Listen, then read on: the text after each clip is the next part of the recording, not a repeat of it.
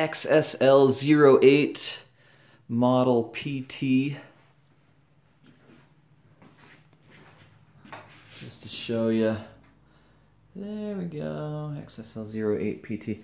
So I've taken this Woodpecker SERX 36 straight edge, which uh, I think is guaranteed to 3 thousandths of an inch every foot or so, and took a 3 thousandths feeler gauge and started from the front and move, excuse me, the back and moved to the front through zero degrees all the way over to the other zero degrees there. So uh, full spectrum and every spot or every dot that you see here on the base is where that feeler gauge passed underneath uh, the straight edge there.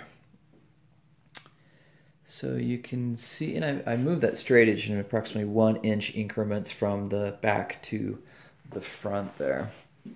Um, so you see it's lower in the middle and on the left side in comparison to the right and in the back. The back was uh, was great. No no spots less than three thousandths of, of an inch there. So Makita, if you're watching, which I'm sure you are because why wouldn't you watch my crap?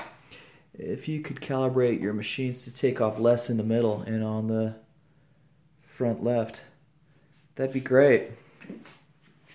Um, I don't think any of these spots are are greater than four thousandths of an inch, but I don't know if that's acceptable or not.